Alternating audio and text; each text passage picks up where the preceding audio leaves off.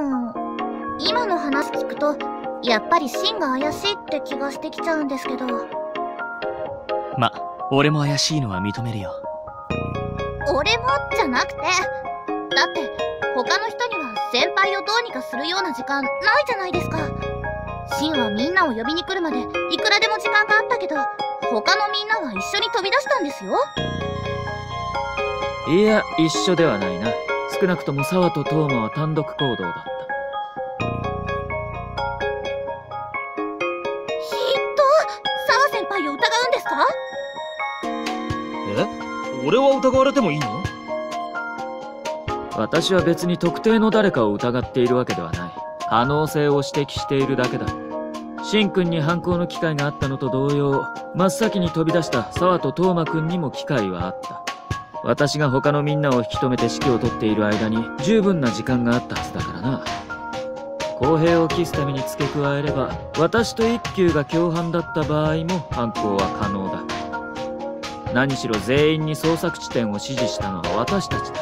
悠々と犯行を行っていても気づかれる恐れはない。さて実際に犯行を行ったのは誰なのだろうな。非常に公平なご意見をありがとうございます。じゃあとは警察に任せましょう。ここで無理に犯人探しをして犯人を刺激するのは得策じゃありません。確かにな。とりあえず今日はもう日が暮れそうですし明日帰るってことで。証拠の写真データは後でコピーして俺とケントさんと右京さんの3人で持ちましょう。それなら犯人が誰でも確実に警察に渡るでしょうから知りたいことはもう調べられたのかな？おかげさまで。こんなのって嫌です。こんなことのために来たわけじゃないのに。悪いなミネ。俺はこんなことのために来たん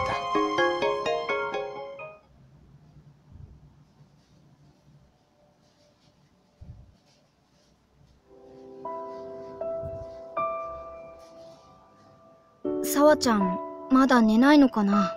夕方の話し合いからなんだかずっと怖い顔してるね。パジャマに着替える様子もないし。あごめん。もう寝る？いいよ電気消して。私はもうちょっとこのまま考えたいことがあるから。どうしたんだろう？容疑者の一人みたいに言われて気に病んでるのかな？聞いてあげたいけどあんまり話したくなさそうな雰囲気だねあ見ててもしょうがない。とりあえず先に寝ようか。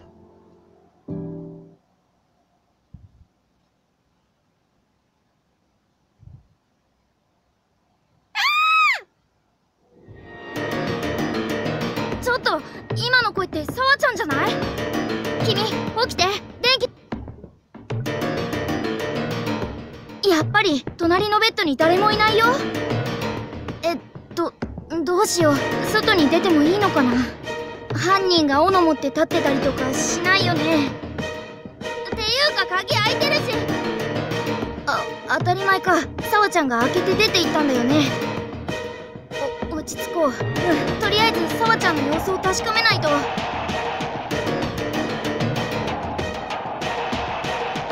そうそう大丈夫か？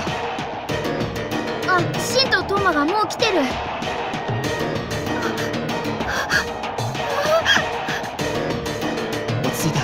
深呼吸して。もう大丈夫だ。みんないるから。な。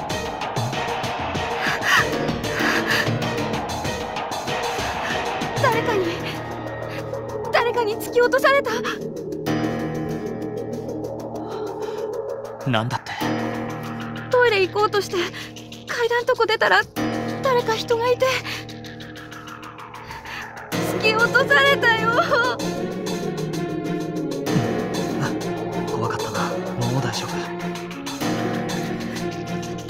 夫じゃないよ。犯人がいるよ。やっぱりいるんだよ。そうだな。なんで犯人が沢を狙うんだ。俺たちが話してた犯人はこいつを狙ったやつだぜ。なんで沢を狙うの？つうかな。それ本当に突き落とされたんだったか落ち着いて思い出してみろよ。あんな話をした後でちょっと押されても突き落とされたような気分になるそういうことじゃないか？よく思い出してみろ。そそう言われるとそうだったかも。な？だからちょっと落ち着け。ようん。はあよかった。落ち着いたみたいだね。でも本当はどうだったんだろう？犯人がやったのかな？見事なものだが、自分が突き落としたのだとしたら、大した演技だな。え？ふーん全員部屋にいたんですか？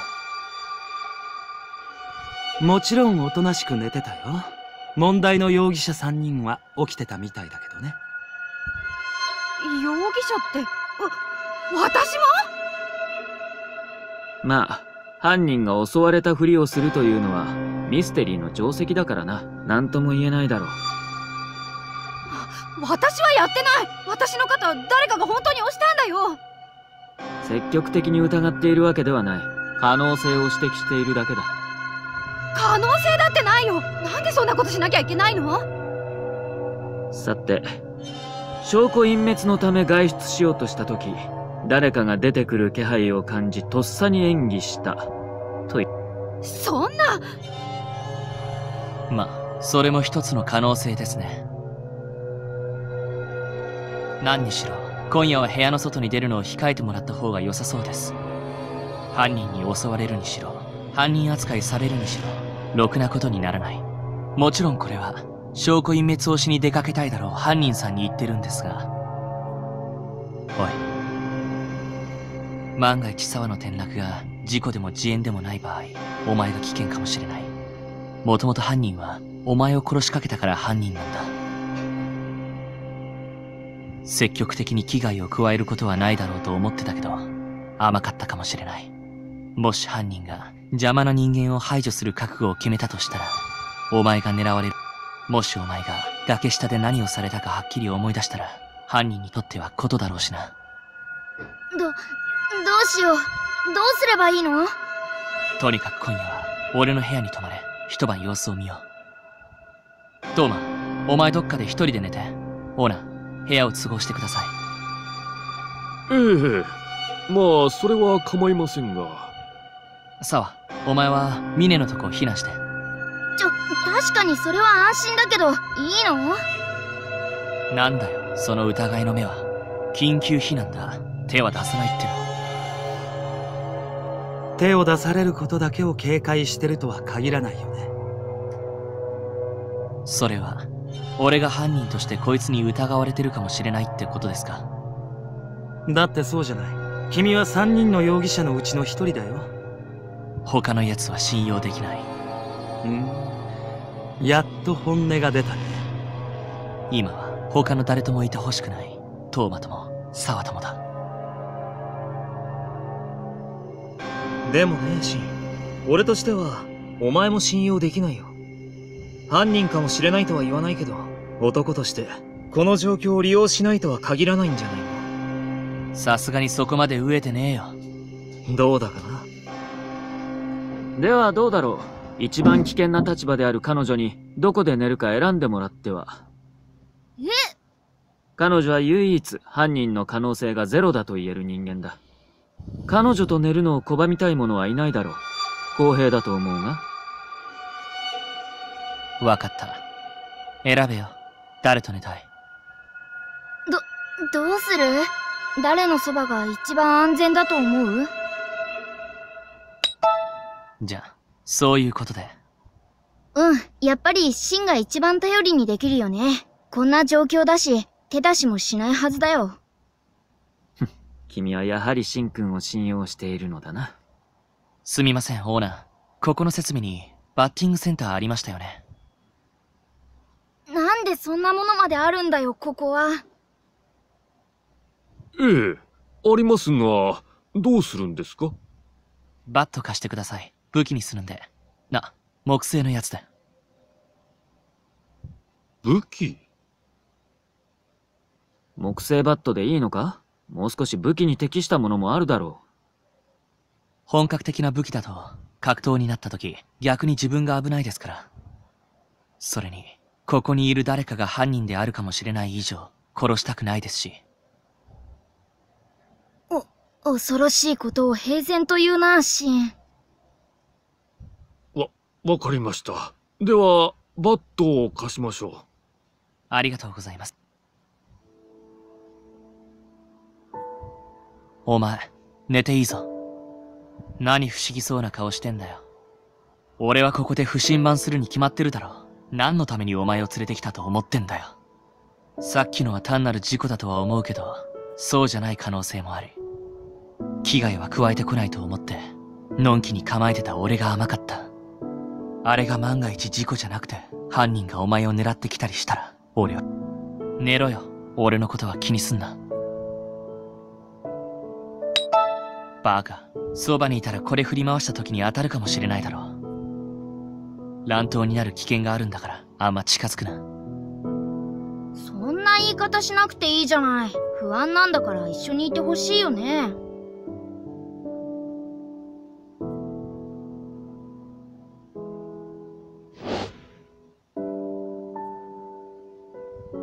大丈夫。泣かないでいいんだよ。そばにいるから。そんな心配いらないよ。すぐ大人の人が迎えに来てくれるよ。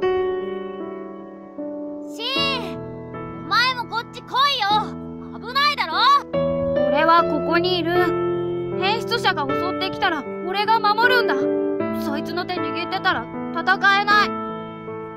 そんなこと言って、お前震えてるじゃないか。嘘つくなよ。俺は怖くなんかない。そいつを守るんだ。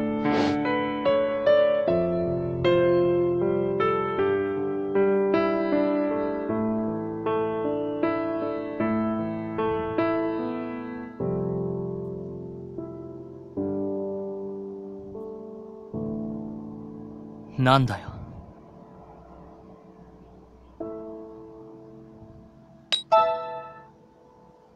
マジでちょっとにしろよ。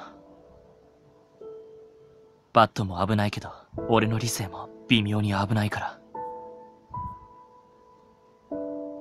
お前からくっついてこられたのって、どんく、嬉しいとか言ってる場合じゃないんだけど、やっぱ、ちょっと嬉しい。いつも俺のこと警戒しろって言ってたけどさ、たまには信じてもらえるってのも悪くないかもな。たまにはな。